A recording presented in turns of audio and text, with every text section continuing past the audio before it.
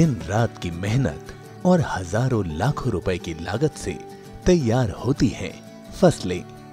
हड्डी तोड़ परिश्रम के बाद जाकर किसानों के खेतों में फ़सलों की चमक दिखाई देती है। ये मेहनत सिर्फ़ एक दो दिनों की नहीं, बल्कि कई दिन निरंतर परिश्रम के बाद ये रंग लाती है। अच्छे और बेहतर उत्पादन के लिए किसानों को छोटी से छोटी बात का ध्यान रखना पड़ता है। जिनमें से एक है फ़सलों को, जानवरों और पक्षियों से बचाना।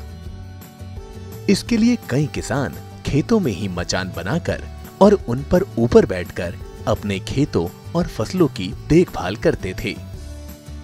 ऊपर बैठे बैठे चारों ओर होने वाली हलचल और पशु और पक्षियों पर नज़र रखते थे, जिससे वो पैदावार को बचा सकें।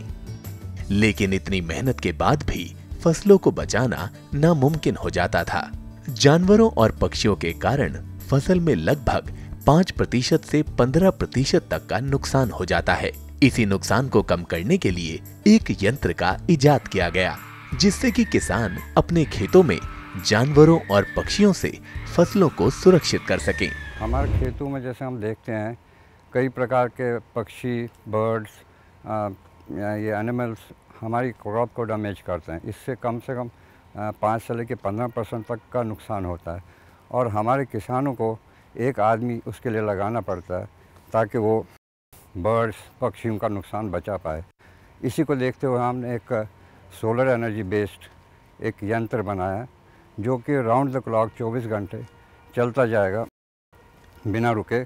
और उसमें हमने टाइमिंग फिट कर रखी है, जो मतलब हर 120 सेकंड के बाद बजता रहेगा तो आपने देखा किस तरह से इस यंत्र से आवाज़ निकलती है जिसके कारण जानवर और पक्षी खेतों से दूर रहते हैं और फ़सलों को हानि नहीं पहुँचा पाते सौर्य ऊर्जा से चलने वाला ये यंत्र 120 सेकंड के बाद खुद ही आवाज़ निकालता है जिससे कि जानवर और पक्षी खेतों से दूर रहें। किसान को कोई आदमी नहीं लगाना पड़ेगा और इसकी कीमत लगभग ढाई हज़ार से तीन हज़ार है।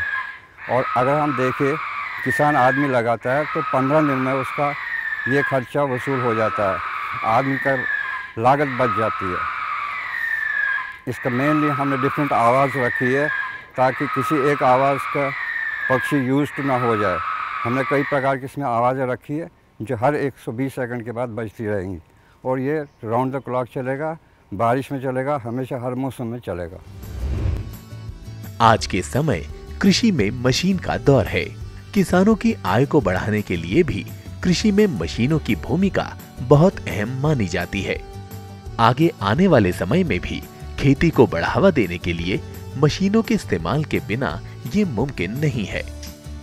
और इस तरह के यंत्र किसानों के लिए मददगार साबित होते ही हैं। साथ ही किसानों के ऊपर कोई बोझ नहीं डालते, जिससे किसान आसानी से इन यंत्रों का उपयोग कर सकते हैं।